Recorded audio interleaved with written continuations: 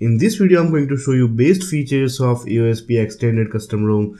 This ROM is based on latest Android 7.1.2 and I'm running this outstanding ROM on my Redmi Note 4 since last month. This ROM is available for many phones and if you want to watch full review of this ROM, you can find that in I button. And as always, download links for all the supported phones will be in the description box below. This is Nash, you're watching Game of ROMs, let's get into it.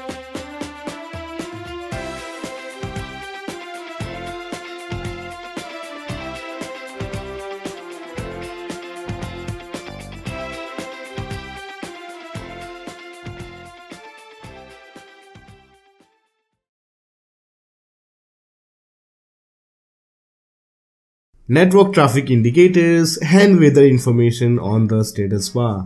Now you can monitor your incoming and outgoing data directly from your status bar. So it's easier to determine whether or not your data is being used by third-party apps.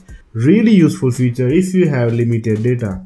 And as you can see, I can watch my weather temperature and current weather logo directly in the status bar. So I don't have to go to any other app.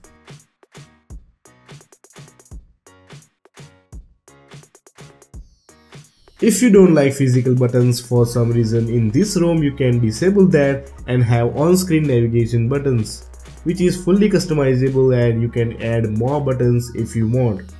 Or if you want to try something new you can have fling bar which replaces normal 3 buttons and gives you swipe bar. Different swipes plays the role of different buttons. For example by swiping right you can go to Google Now cards or recent menu and if you want you can assign new actions to each swipe. You can find this feature in other ROMs like Resurrection Remix also. And by far this is my favorite feature in any custom ROM. And this kind of features makes people flash custom ROMs.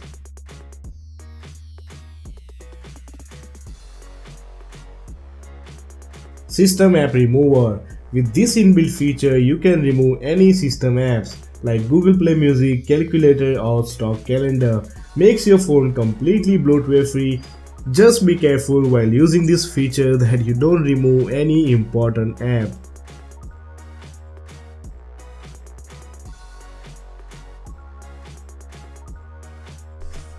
Many third-party apps have access to your location and your phone storage. But did you know that many apps can access your keyboard tabs, your clipboard, they can run in the background, also they can auto start with the boot. With this inbuilt feature, you can deny that access to any particular app. Also, you can do the same thing with any system apps. Very useful feature if you are running apps like Facebook or Messenger.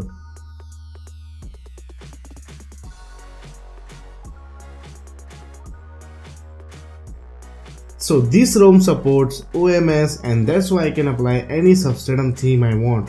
Currently I'm running Compound Light UI theme which not only changed my status bar and notification drawer, it completely changed the look of almost all the apps like YouTube and Google Play Store.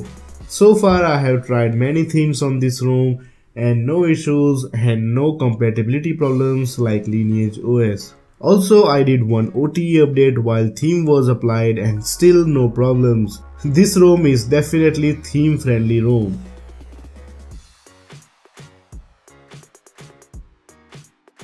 If you're kind of person who uses their phone in the dark a lot, night mode feature will help you a lot. It reduces the eye strain and give you eye protection because blue light in dark has negative impact on your eyes as well as sleep and in this ROM you can activate this feature directly from your notification drawer.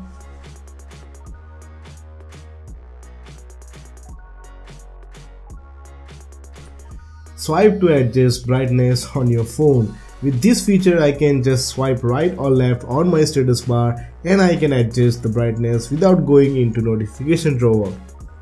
This tiny feature will save you lots of time especially when you are reading something on your phone.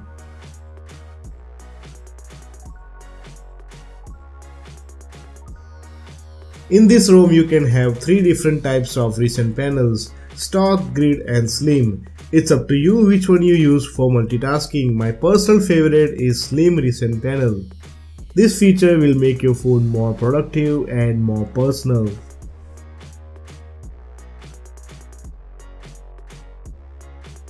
Lock screen customization. You can completely change the look of your lock screen. You can change clock font, date and time or you can completely remove the clock. Also you can edit bottom shortcuts. Really useful feature to make your phone look unique.